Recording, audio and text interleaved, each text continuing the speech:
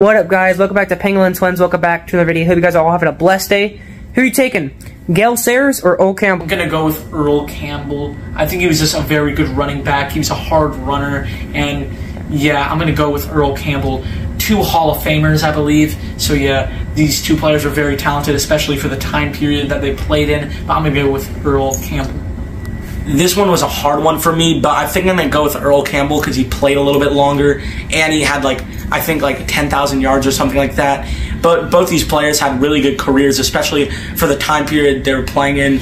Uh, but they had like incredible careers.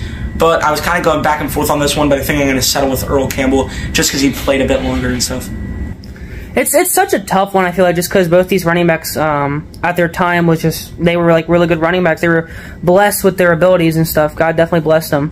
Um, Sayers could do it really all at the running back position. You know, he could uh, could kick returns, punt returns, and stuff. Uh, good special team running back, but he also could run the ball really well. And Earl Campbell, he was really hard to tackle. He had big legs. I mean, tree, like tree trunk legs. I'm joking, but no, he had big legs, and he was really hard to tackle um, from what I know at least, and just two really good running backs. Um, so I don't know, like if you're in today's league, who would you rather have?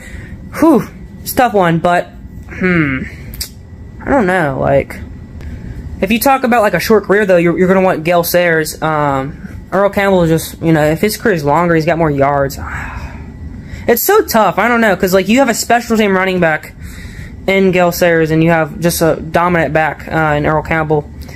Um, I think truly I'd rather have Gale Sayers, but I think I'll just go Earl Campbell just overall, just because he was uh, really hard to tackle and he just would run really hard. Uh, so I think I'll go Earl Campbell barely, clearly, just because I like Gale Sayers, but I think I'll just go Earl Campbell barely on this one. Remember, Jesus loves you guys. Accept Jesus in your life. God bless you guys. Keep God first. You guys, I'm out. God bless.